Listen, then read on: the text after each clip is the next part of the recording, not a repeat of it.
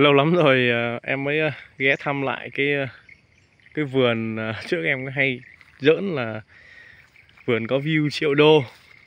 À, bắt đầu đến lúc giai đoạn mà chăm sóc thì thường thường thì những cái vườn mà nó đã đẹp rồi mà người chủ vườn người ta sành sỏi thì mình cũng ít đến. À, tiết kiệm thời gian tiện thì ghé qua hôm nay nó có vấn đề. Thì à, em mới ghé cái này thì cũng à, lên à, lần sơ bộ rồi ha nên là phải có cái dàn lá xanh dày cứng cáp như thế này. Nên mà đọt thì nó le le thì ờ, lên thì cứ lên. Rồi nếu mà đọt nó đi thì theo đọt. Còn không thì à, thì à, nó ra mình cũng hãm. Nó ra là lấy cái tiết tháng 10 này. Làm tháng 10 này được thì làm luôn. Còn không được thì kéo tiếp. Bởi vì năm nay thời tiết nó cũng hơi éo le chút. Đó là tình hình chung. Đấy, cái cây này sững hết lại. Nhưng mà cái cái đầu đọt ấy, nó vươn lên. Nếu mà 4 năm ngày nữa mình siết mà nó ra được thì à, là sẽ rất là may mắn bởi vì đến cái giai đoạn mình kéo đọt nó dễ dàng.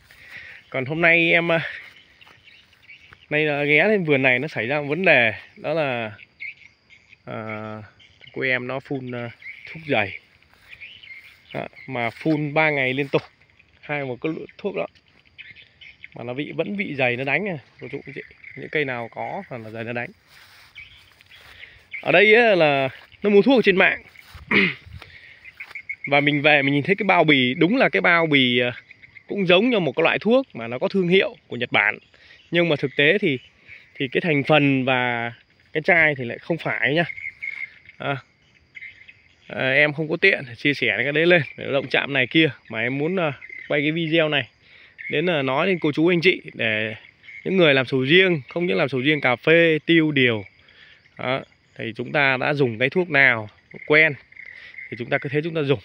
Đôi khi à, chúng ta nên ra những cái cửa hàng ấy à, uy tín chọn lựa chọn các cái thương hiệu nó uy tín hoặc là những cái sản phẩm mà mà mình mình thấy ấy, có nó có thể là rẻ đi nhưng nó bán ở các cái cửa hàng thuốc bảo vệ thực vật đấy thì mình đến mình xem.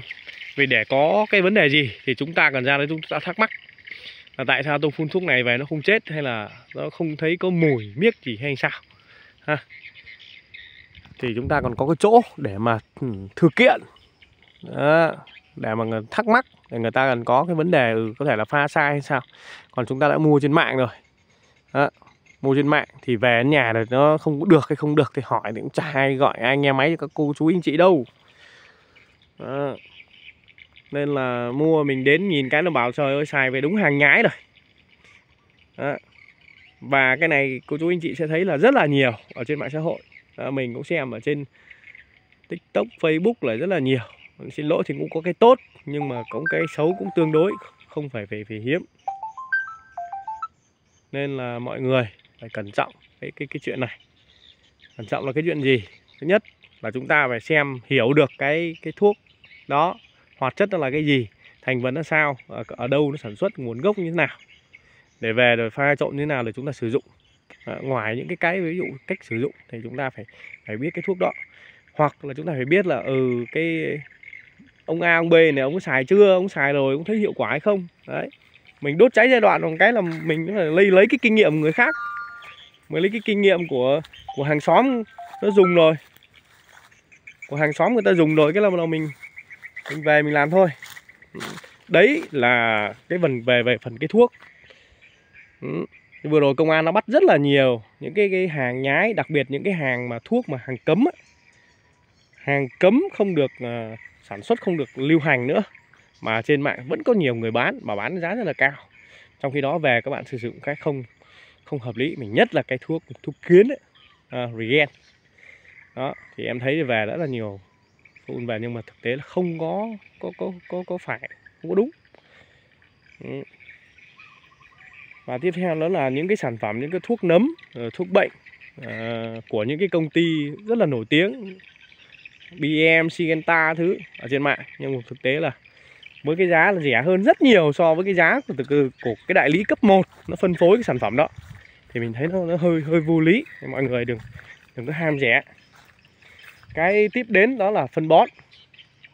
Đó, chúng ta cũng phải nên tìm hiểu à, phân Nhật thì như thế nào phân Bỉ như thế nào phân Hàn như thế nào. Thì mỗi loại phân thì nó có một cái mức giá và một có cái hình hạt phân nó khác nhau. À, phải cách bón này nọ nó cũng khác nhau nên là cô chú anh chị cũng phải lưu ý. À, các cái dòng NPK hay là phân bón chúng ta nhập về mua về để tránh trường hợp là chảy nước này à, vón cục này. Rồi à, làm sao ạ? Rồi là Ờ, uh, biến dạng uh, ờ, rêu mốc này kia thì chúng ta phải cẩn thận. Rồi bón ra nó có tan hay không. Và thậm chí là khi mua phân về cô chú anh chị phải thử mua lấy một bao về rồi kiểm tra xem là nó có cát đá không. Vì có những cái trường hợp là rất nhiều cô chú anh chị bón mua số lượng phân bón lớn về cho các cao su. Chúng ta đi hội thảo thiết về mua mua. Thấy rẻ bắt đầu mua về. Nhưng cuối cùng khi mà bón ra là khi nó tan ra là có thấy nguyên một lớp đá lớp sỏi ở trên đó. À, và có cái trường hợp là khi mấy là đã bức xúc và đã túm được cả cái ông bán phân rồi. Đó cái này thì có nhiều rất là nhiều ở trên ngoài xã hội nên là mọi cái của chú anh chị phải phải cố gắng hết sức cẩn thận ờ, dùm em. Chúng ta đã bỏ tiền ra thì chúng ta hãy hãy thử đi. Thôi thì bây giờ đang xài này thì hai nãn rồi tôi mua thử một gói hay gói một một bao vài bao về chúng ta xem thử xem là chất lượng thế nào để nó đánh giá. Rồi rồi sau lần sau chúng ta hãy hãy chuyển đổi từ từ. Chứ không mà bỏ một số tiền lớn ra ụp một cái là chúng ta làm. Ừ. Đấy, cái đấy chúng ta phải tìm hiểu về cái cái cái các cái sản phẩm phân bón. Em đây bữa giờ ờ, cũng thấy rất là nhiều. Bởi vì bây giờ các công ty nó ra nhiều thì có công ty tốt có công ty không tốt. Ờ, có cái thật có cái giả. Nên là mọi người phải chú ý. Đôi khi là ừ, sai lầm. Mình cứ nói là xã hội nó phát triển đùng đùng đấy nhưng mà đâu có đâu. À, cứ nhầm nhất là những cái người lớn tuổi. Không? Nó khoe mẽ nó đưa cái sản phẩm đấy. Giống như nhồng bạn mình bạn bạn em mới đây thôi. Lớn tuổi rồi vậy mà nó đến nó kèo sao mua được cái nồi nồi cơm điện nó 4 triệu mấy. Nhưng thực tế là nó cái nồi cơm điện nó cũng chỉ có một triệu hai thôi nó bán cho 4 triệu rưỡi. À, phun phun dày mà không không không không hết. À, hôm sau lấy cái thuốc à, khác cũ ra ngoài kia mua thuốc gói về thì lại cầm được.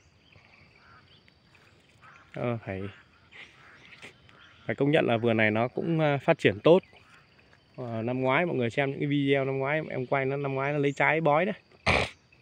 Mà năm nay cây nó to thế này rồi. Và cái đất này. Đó là phân bò sao cái bao này chưa tãi ra. Rồi, tiếp đến một số cái sản phẩm bây giờ là dựa vào là cô chú anh chị ai cũng muốn là hữu cơ hết mà chúng ta nên lên lên trên mạng và xem vào cái kênh chính thống. Đó, cái tài liệu chính thống đó đừng có lấy những cái tài liệu của các công ty này công ty kia chúng ta xem. Chúng ta xem những tài liệu xem hỏi để xem là nông nghiệp hữu cơ là làm như thế nào. À, organic nó xài những cái gì? À, em ví dụ như là cái phân nhiều này nói là bảo là tôi làm hữu cơ 100% nhưng trong khi đó xài phân hữu cơ nở. Đây ví dụ như hữu cơ nở đây. Hữu cơ nở bao này là hữu cơ nở của em nhé em bán đây là nhưng mà mình sẽ thấy là 4 2 2,5 có nghĩa là 4 4 đạm 2 lân 2 2,2 lân 2,2,5 uh, ờ, kali Thế thì mình bón 5 kg phân hữu cơ nở này thì tương đương với gần hoặc hơn 1 kg NPK 20 10 10 nếu tính theo cái hàm lượng này. Đó. Thì vậy thì là phần khoáng nhá, thì vậy đâu có phải là hữu cơ đâu. Và hữu cơ thì không thể nào có đồng kẽm sắt từ bao nhiêu phần trăm. Con bi không biết đó. À, đấy là rất là vô lý. Chúng ta làm hữu cơ mà vẫn đi nhảy mà nói là tôi làm hữu cơ. Còn bản thân em chưa bao giờ em nói mình là làm hữu cơ 100%. Em làm theo định hướng hữu cơ, ví dụ dưới đất là làm hữu cơ nhiều ví dụ em bỏ thêm phân bò này vẫn xài hữu cơ nở kia nhưng mà xài vừa phải à, xài cái tất cả đất si. À, ở dưới đất còn là trên cây. Đọt noi này vẫn phun thuốc dày cái trái thì em vẫn sử dụng thêm NPK hay là cái, cái thuốc trị diệp sáp rồi thuốc nấm. Đấy, mục đích là cái gì ạ? Là để tạo ra sản phẩm. À, bán ra ít nhất là phải dư cái phần để đầu tư tiếp năm sau thu hồi vốn. Đó. không thể nói là phải thu bằng này tiền bằng kia tiền được. Nhưng mà phải cố gắng ít nhất là chúng ta phải gỡ được cái tiền đầu tư và thu thu hồi vốn. Và để tiếp tục đầu tư sang năm đó. Ừ. Chứ mình không có nói mạnh mồm mạnh miệng là phải được cây hai ba tạ năm bảy tạ một hecta được hai chục tấn ba chục tấn. Oh, không cần. Mình không có có có có cái suy nghĩ đó. Không dám nói như vậy không cần thể nói như vậy. Mà cố gắng làm sao thứ nhất là lấy được tiền mà năm trước chúng ta đầu tư và có dư cái tiền để đầu tư tiếp năm tiếp theo. Ít nhất phải được như vậy. Rồi cố gắng ha. Vì làm nông nghiệp nó còn liên quan đến thời tiết. Còn mình không bao giờ mình chưa bao giờ em nói là à, làm hữu cơ này kia. Ông bán si ông xài si ông làm hữu cơ mà.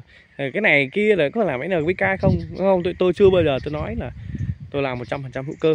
Còn anh chị nào nói làm 100 hữu cơ à, khoe là tôi làm 100% hữu cơ. À, thì nghe tôi nó hỏi xem là bón phân hữu cơ nở này có phải như vậy không là một. Cái thứ hai nữa cái cái combi không biết các anh chị xài. Đó. thì đấy có phải hữu cơ không? Rồi thậm chí là cái lân các anh chị xài có phải lân hữu cơ không? Lân ở đâu ra? Đấy, nguồn gốc ở đâu ra? Lân hữu cơ. Và kali ở đâu ra? Mà là kali hữu cơ. Đó nó đơn giản vậy thôi. Và đừng có nói là tôi lấy từ cây chuối nha. Đấy, các bạn à, cứ cứ bảo mình như vậy là nhảy vào trong cái kênh của em là nói là phải làm hữu cơ phải này kia. Ừ. phải làm như thế này thấy mình thấy mình không có trả lời. Bởi vì mình thấy nói như vậy là sai. À, các bạn chưa hiểu hết. Các bạn chưa hiểu hết thế nào là bảo vệ thực vật thế nào là hóa chất à, thế nào là hữu cơ. Thì các bạn đừng có lên bình luận các bạn đi nghe. Nó, nó, nó không hợp lý đâu. Tại vì chẳng có hữu cơ nào mà ghi đồng kẽm. Đấy. Rồi là bao nhiêu phần trăm magie ở trong cái hữu cơ đấy giỏi quá. À. lá dày cui luôn bóng. À, một lần nữa mong cô chú anh chị. Cái này là liều lời khuyên thật lòng. Có thể uh, động chạm đến một số nhưng mà thôi. Cũng mong cô chú phải cẩn thận với cái chuyện mà chúng ta lên trên mạng chúng ta mua phân bón thuốc bảo vệ thực vật. À, đôi khi là tiền mất mà tật mang.